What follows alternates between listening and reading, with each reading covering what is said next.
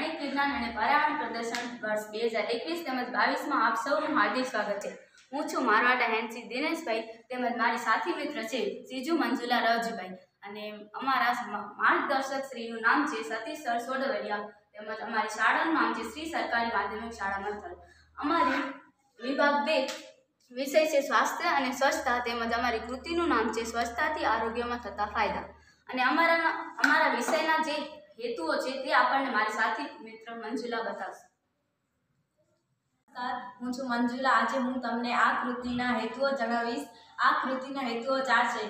Number એક, વિદ્યાર્થીઓ સ્વાસ્થ્યની બાબતે જાગૃત બને. નંબર બે, વિદ્યાર્થીઓ નિરોગીમય બને. નંબર ત્રણ, વિદ્યાર્થીઓમાં સ્વચ્છતાની ટેવ કેળવાય. નંબર ચાર, વિદ્યાર્થીઓ સ્વચ્છતાથી થતા ફાયદા જાણે તો આ હતો આપણા અમારા વિષયના હેતુ તેમજ અમારા આ વિષય છે તે સ્વચ્છતાને આપણે બે ભાગમાં વહેંચણી કરી શકીએ છીએ.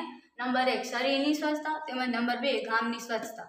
તો હવે સૌપ્રથમ વાત કરીએ શરીરની સ્વચ્છતા. તો શરીરની સ્વચ્છતામાં વાળની સફાઈ આપણને ખૂબ જ જરૂરી છે. તો વાળની સફાઈ માટે આપણને દરરોજ નિયમિત વાળ ઓળવા જોઈએ, વાળને શેમ્પૂથી સાફ કરવા જોઈએ.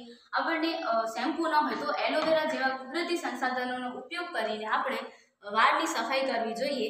જેનાથી વાળમાં ખોડો ન થાય, ના, જૂ ન થાય, ઉંદરી ન થાય, એવા વગેરે જેવા રોગોથી આપણે રક્ષણ પામી શકીએ છીએ. હવે વાત કરીએ દાંતની સફાઈ. તો દાંતની સફાઈ પણ આપણને ખૂબ જ જરૂરી છે.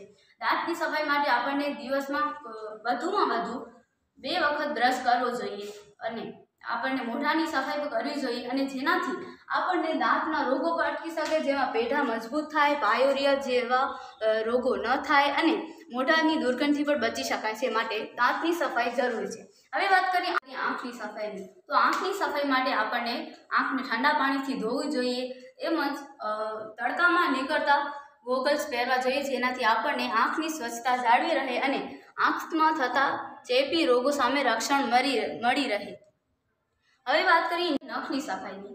તો નખની સફાઈ માટે આપણને નખ નિયમિતપણે કાપવા જોઈએ અને નિયમિતપણે સાફ કરવા જોઈએ. જેનાથી આપણા નખ વધે તો તેમાં મેલ જમા થાય છે, જે જે મેલમાં અત્યંત સૂક્ષ્મ જીવો જમા થાય છે અને આપણા શરીર માટે હાનિકારક છે. અને આપણે જમતી વખતે હાથનો ઉપયોગ કરીએ છીએ ત્યારે નખમાં રહેલા સૂક્ષ્મ જીવો આપણા શરીરમાં પ્રવેશ કરે છે, જેનાથી આપણને ઘણો બધા રોગો થાય છે. માટે નખની પણ સફાઈ કરવી બહુ જ જરૂરી છે અને શરીરને રોગો સામે રક્ષણ પણ મળી રહે છે. હવે વાત કરીએ નિયમિત સ્નાન. તો નિયમિત સ્નાન પણ આપણને કરવો ખૂબ જ જરૂરી છે. નિયમિત સ્નાન માટે આપણને સાબુ દ્વારા આપણા દરેક અંગને ઘસી ઘસીને સાફ કરવા જોઈએ, જેનાથી આપણને ચામડીના રોગો જેવા કે દાદર, ખસ ખરજવું જેવા રોગો સામે આપણને રક્ષણ મળી રહે. હાથની સફાઈ. હાથની સફાઈ આપણે આપણે કોઈ પણ વસ્તુ હોય એને સ્પર્શ કરીએ છીએ. ત્યારે વારંવાર આપણે કોઈ પણ વસ્તુને હાથ દ્વારા સ્પર્શ કરીએ છીએ. માટે આપણને હાથની સફાઈ ખૂબ જ જરૂરી છે. આપણને જમ્યા જમ્યા બાદ, જમ્યા પછી આપણને હાથ જોવા, ધોવા જોઈએ. હેન્ડવોશ કેવી રીતે કરવું તે આપણને મારી મિત્ર મંજુલા સમજાવશે. હાથને ઘસવા જોઈએ. પછી હાથની પાછળ પણ આંગળીઓની વચ્ચે ઘસવા જોઈએ. એક એક આંગળીને ઘસવું હથારીમાં ઘસવું કાંડામાં ઘસવું તો તમે જોઈ શકો છો કે અહીંયા વારંવાર હાથ ઘસવા જોઈએ. તો વારંવાર હાથ ઘસવા જોઈએ જેનાથી આપણને હાથમાં રહેલ સૂક્ષ્મ જીવોથી બચી શકાય. તો આ તો હતી આપણા શરીરની સ્વચ્છતા તો શરીરની સ્વચ્છતા જાળવવી ખૂબ જ જરૂરી છે. માટે આપણે શરીરની સ્વચ્છતા આવા અનેક સાધનો દ્વારા જેમાં તમે જોઈ શકો છો, રૂમાલ છે, સાબુ, રૂ, ચશ્મા, દાંતીઓ હેન્ડ સેનિટાઈઝર હેન્ડ વોશ આવી અનેક વસ્તુ દ્વારા આપણે હાથ, આપણા શરીરની સ્વચ્છતા જાળવી શકીએ છીએ. હવે શરીરની સ્વચ્છતા તો જરૂરી છે, પણ આપણે જ્યાં રહીએ છીએ, જ્યાં વસવાટ કરીએ છીએ, ત્યાં પણ આપણી સ્વચ્છતા જરૂરી છે. એટલે કે આપણા ગામ તેમજ શહેરની સ્વચ્છતા જાળવવી પણ ખૂબ જ જરૂરી છે.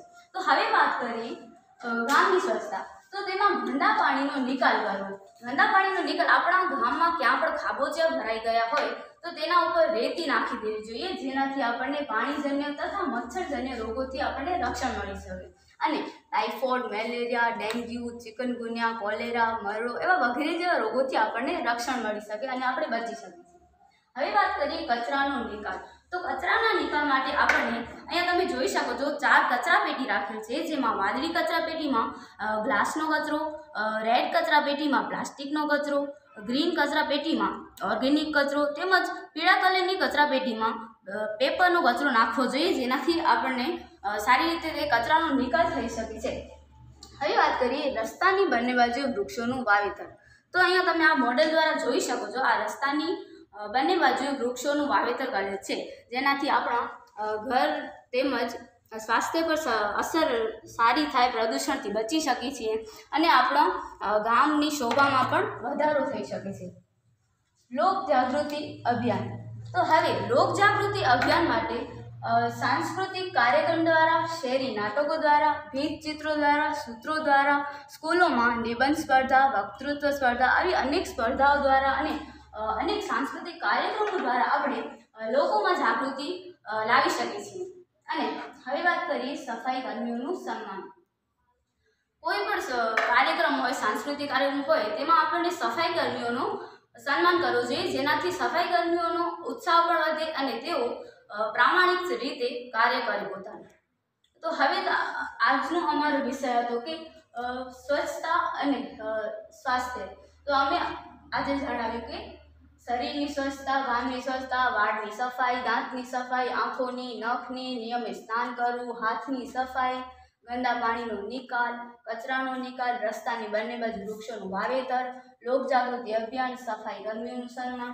એવી રીતે આપણે અનેક રીતે સફાઈ કર્મીઓનું સન્માન કરીને આપણા ગામ તેમજ શહેરની સ્વચ્છતા જાળવી શકીએ છીએ અને આપણા શરીરની સ્વચ્છતા માટે આવા અનેક સાધનોનો ઉપયોગ કરીને આપણે આપણા શરીરની સ્વચ્છતા રાખી શકીએ છીએ અને જો આપણું શરીર સ્વસ્થ હશે, ત્યારે જ આપણે આપણા ગામ તેમજ શહેરને સ્વસ્થ રાખી શકશું.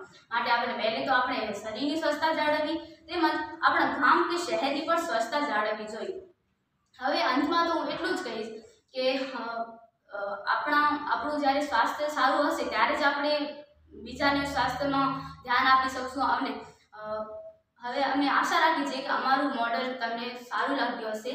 એ જ કહેવાય છે કે પહેલું સુખ તે જાતે નર્યા અને સ્વચ્છતા ત્યાં પ્રભુતા. ધન્યવાદ.